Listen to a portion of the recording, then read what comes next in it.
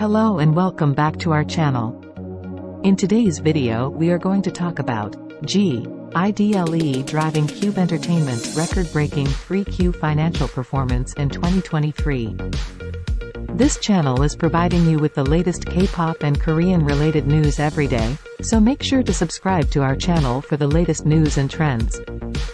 This video is sponsored by Dinhasty Clothing, as part of introducing the new wave in streetwear culture.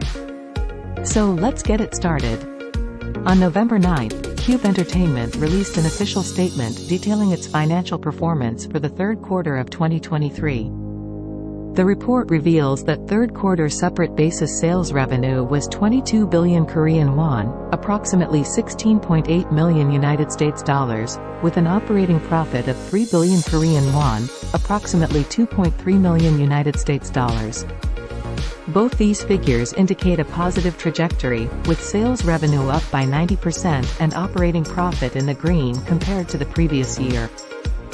By the conclusion of the third quarter, the cumulative separate basis sales revenue reached 65 billion Korean won, approximately 49.5 million United States dollars, thereby exceeding the annual cumulative sales revenue of the prior year in just nine months.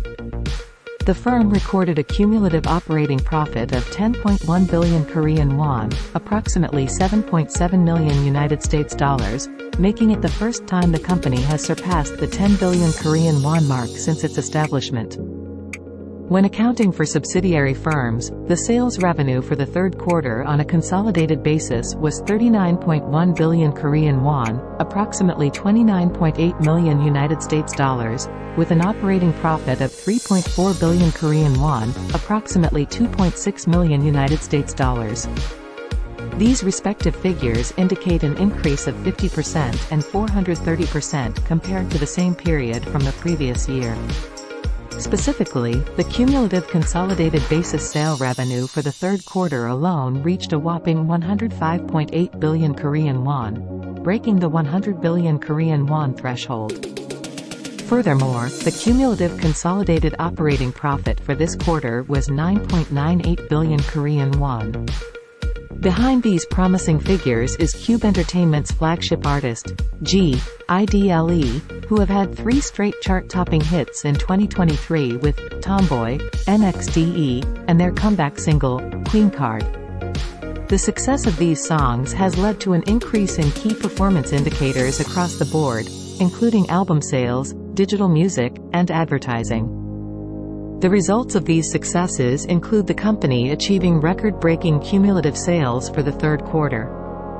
A representative from Cube Entertainment stated that, G, IDLE's threefold success and their million seller status have boosted the intellectual property, IP, value. The expanding global fandom has led to a 170% increase in advertising revenue compared to the same period last year, which includes numerous advertising contracts, such as luxury brand ambassadors. They further added, G. IDLE's recent Second World Tour, which drew over 130,000 spectators, helped more than double the merchandise sales from the previous year.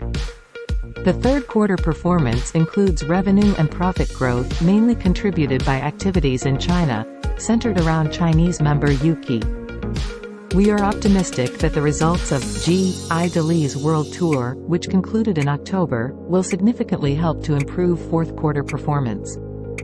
In another company announcement made on November 6, Cube Entertainment officially confirmed their separation from the BTOB group members, namely Eunkwang, Minhyuk, Changsub, Hyunsik, Peniel, and Sungjae. The company revealed, we have had lengthy discussions with the BTOB members as their second exclusive contract approached its expiration. Ultimately, we mutually agreed not to renew the contract. What do you think about it? Please let us know in the comments. Please subscribe to our channel for the latest K-pop and Korean related news and hit the like button. Be part of the new wave and support Dinhasty Clothing. Link in bio. Thank you for watching and have a wonderful day.